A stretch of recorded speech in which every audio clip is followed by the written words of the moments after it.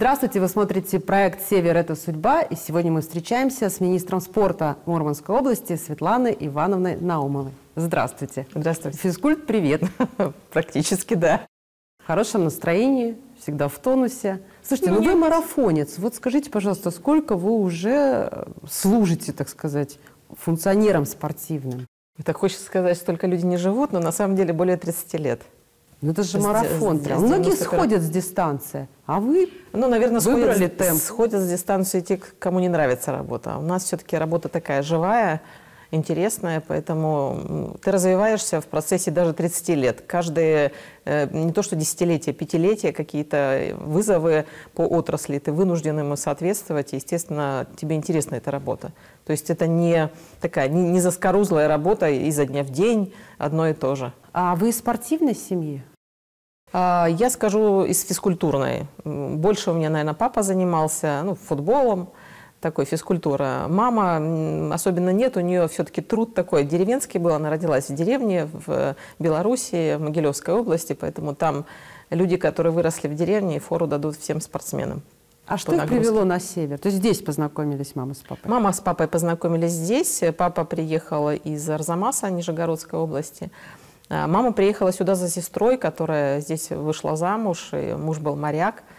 Вот, и она приехала просто посмотреть город, ей понравилось, ну и потом все равно старшая сестра, как опора в дальнейшем. Вот.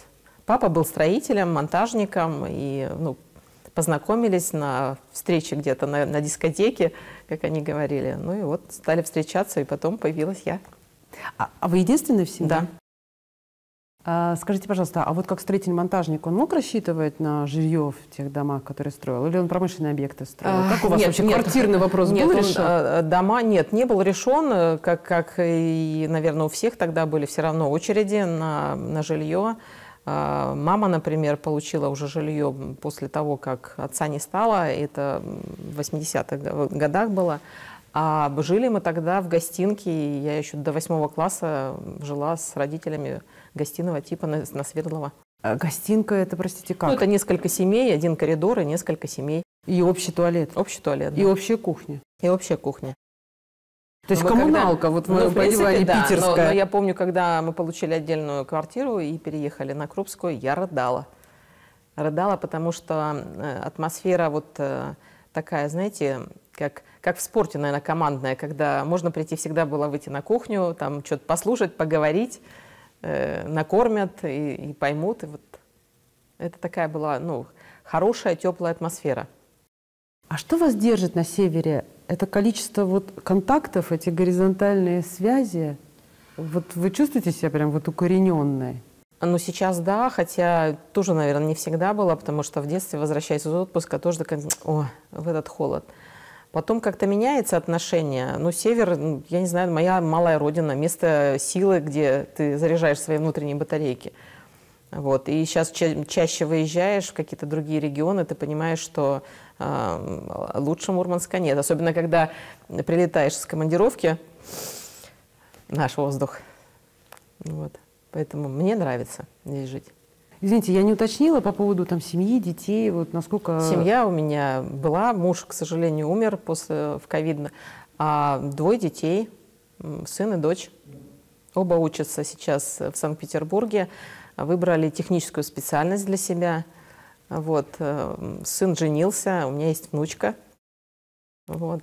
А дочка учится на втором курсе. А есть вообще шанс заполучить их обратно?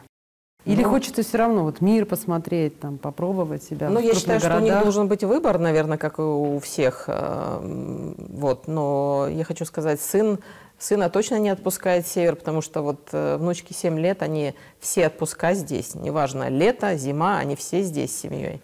Вот. Он спортивный у вас тоже? Он спортивный, он, э, ну и дочка, и сын занимались, я уже отдавала в спортивную школу, занимались плаванием.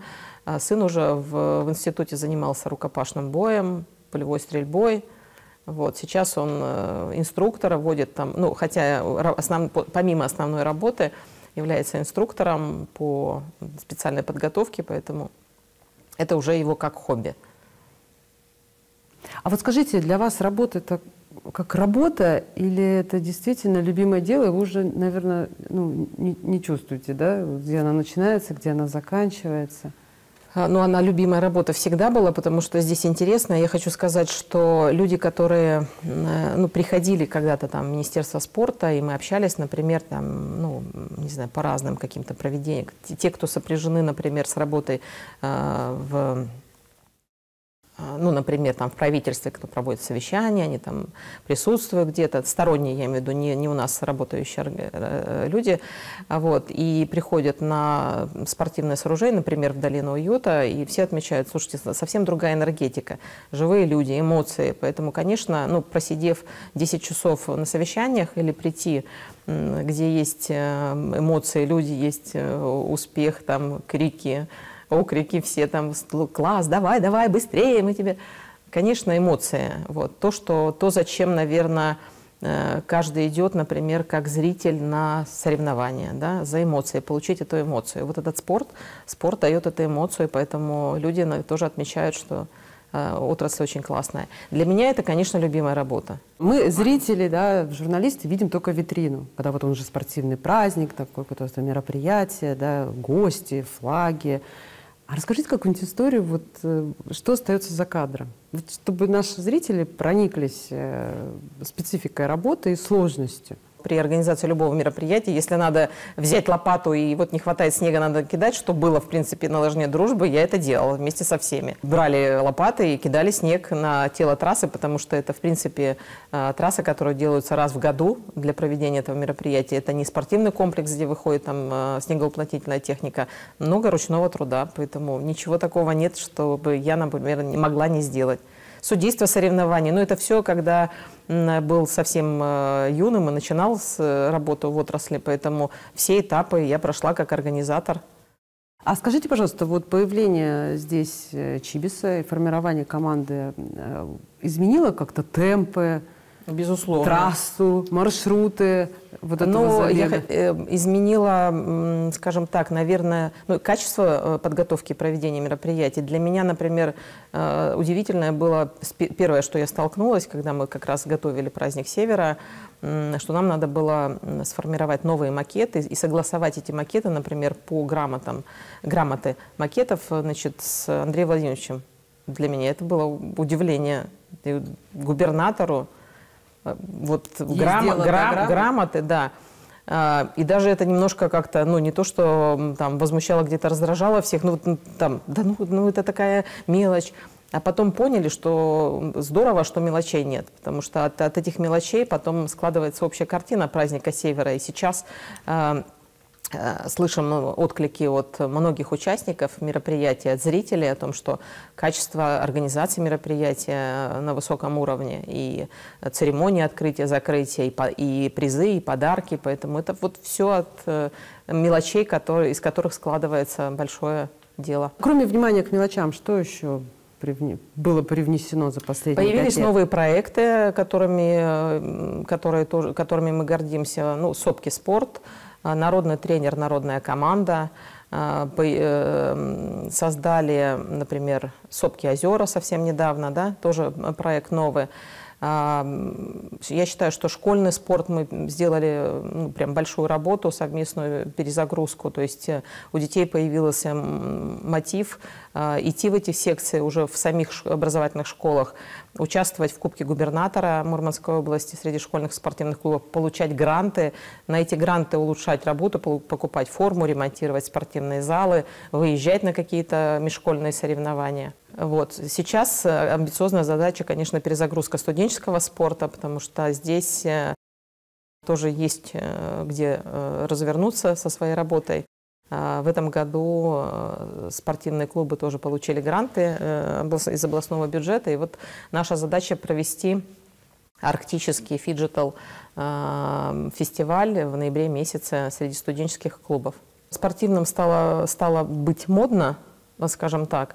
И поэтому здесь не важно, чем ты занимаешься, главное, что как, как ты себя ощущаешь, э, свое тело при занятиях спортом. Спорт вообще, э, на мой взгляд, э, дает много любому человеку. Это в первую очередь хорошие эмоции, это дисциплина, помимо того, что любое занятие, которым занимается человек, оно еще и влияет на гормональную основу человека, помимо ваших желаний. То есть вырабатываются так называемые гормоны радости, эндорфины, окситоцины, дофамины. Все это нейромедиаторы, которые влияют на положительное, на вот на здорово, я молодец, что позанимался. То есть, э, если даже какой-то нагоняй на оперативке в адрес Иди заниматься спортом, точно, все, вы, выгонишь через занятия всю энергетику утро с пробежки начинаете? Да нет, конечно. Слава богу. Утро начинается с суставной гимнастикой. Знаете, приходит время, когда это надо делать еще не вставая с постели. А вы помните там день, час, обстоятельства, при которых губернатор принял решение сделать вас министром? Это было в 2021 году, а, но я предлагала на свое место других людей. Вот. И э, когда Андрей Владимирович меня вызвал, я сказала, что Андрей Владимирович, вам надо работать с людьми, с которыми вам комфортно. Так бывает. А, человек может быть хорошо работать, но бывает еще и какие-то, наверное, мне кажется, энергетика какая-то между людьми, да? Вот, э, вот Андрей Владимирович сказал, мне с тобой комфортно работать. После этого я стала министром.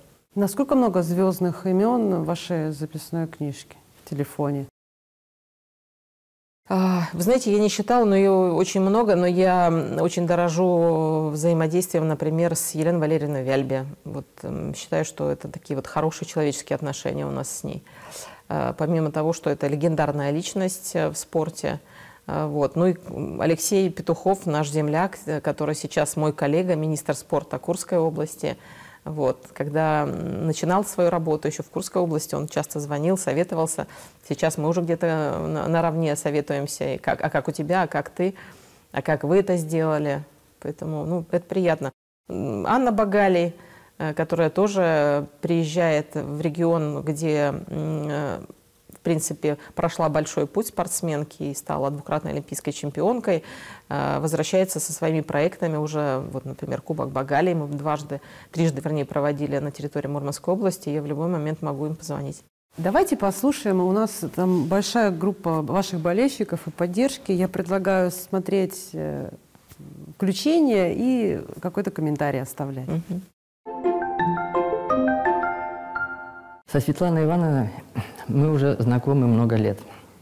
Я э, хорошо помню, когда она впервые стала работать в областном спорткомитете, э, еще инструктором, и прошла этот долгий путь от, э, в области физической культуры и спорта от инструктора до министра спорта. Что отличает Светлану Ивановну? Это прежде всего человечность.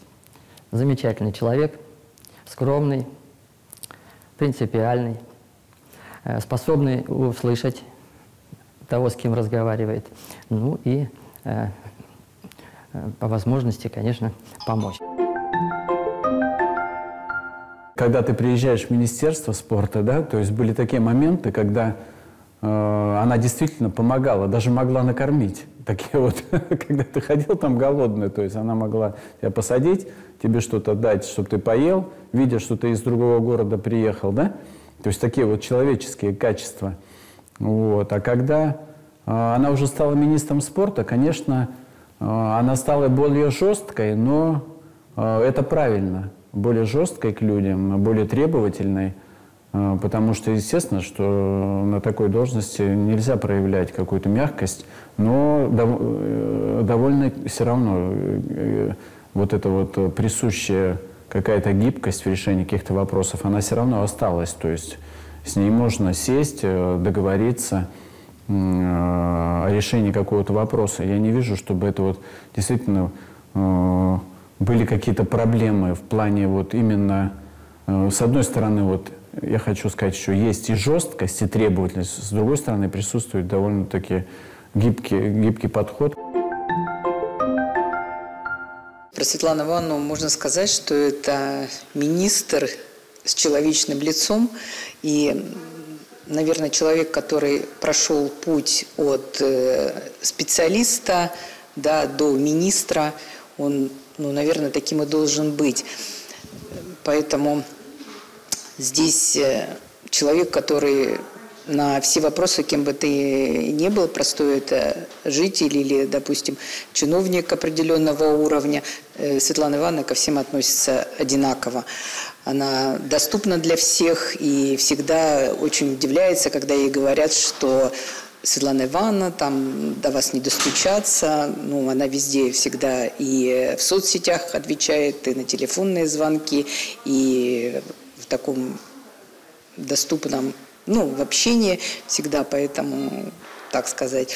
А человек, она на самом деле открытый и радеющим за развитие спорта, причем как спорта высших достижений в Мурманской области, так и за развитие массового спорта для людей, чтобы они занимались спортом, вели здоровый образ жизни.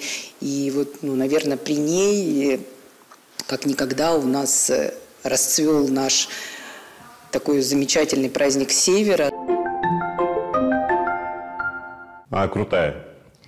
Она очень э, целостный человек, очень требовательный человек, очень Э, обладающий большими компетенциями. И даже невзирая на то, какое бы мы, мы ни сделали мероприятие, как нам кажется, это супер круто, супер великолепно и прекрасно, э, она всегда скажет, что а вот в этом моменте можно было бы доработать и сделать бы вот так. То есть она обладает не только общим видением, и еще она обладает э, тонким таким чутьем руководителя, который понимает, что здесь вот можно бы отпустить, например, вожжи, а здесь надо наоборот сказать, что вот здесь ребята, надо отработать вот так, так и так, потому что это требует ситуации или требует такое-то мероприятие. И это очень круто на самом деле. Правду? Ух. Ну, я думаю, что, наверное, да, они меня такой видят, конечно. Но я хочу сказать, что все результаты, безусловно, это итог командной работы, а, потому что вот все люди, которые отзывались, они состоялись в спорте, как э, тренер, и Андрей Иванович Кныр, и Борис Федорович Аник – Э, они уже мэтры э, спорта в своих видах спорта. Вот. Э, Денис, он, конечно, они все сами крутые. Вот, с ними приятно работать, но когда мы говорим о, кри о критике, мы все-таки понимаем, что на критике мы растем. Если мы просто будем хлопать в ладоши, как все здорово прошло и, и, и все, и себя хвалить, то ну, понятно, что мы остановимся в своем развитии. Поэтому, конечно, любое проведение мероприятий требует оценки, анализа, э, потому что вот эта, эта эйфория, она проходит, и потом все равно ты остаешься, начинаешь там, вот здесь вот надо было, вот тут не досмотрели, вот тут не досмотрели. До идеала довести все, ну, как бы, наверное, невозможно никогда. Вот есть спортивный календарь, а вот календарь министра годовой, когда вы себе можете отпуск позволить? Что это такое? все время... А, нет у вас отпуска? Что это такое? Ну, мне кажется, сейчас, э, ну, у руководителя, ну, максимум, э, не знаю, там, две недели, и то в эти две недели э, ты все равно остаешься на связи с э, коллективом, потому что те задачи и вот, ну, тот, э, те вызовы, которые сейчас есть перед каждой отраслью, они, конечно, требуют вовлеченности 24 на 7, как бы это ни, ни громко не звучало. Более того, когда руководитель, если вдруг выключается из этой деятельности, ну, например, мне лично некомфортно, потому что ты приходишь как в вакууме, как будто все с чистого листа.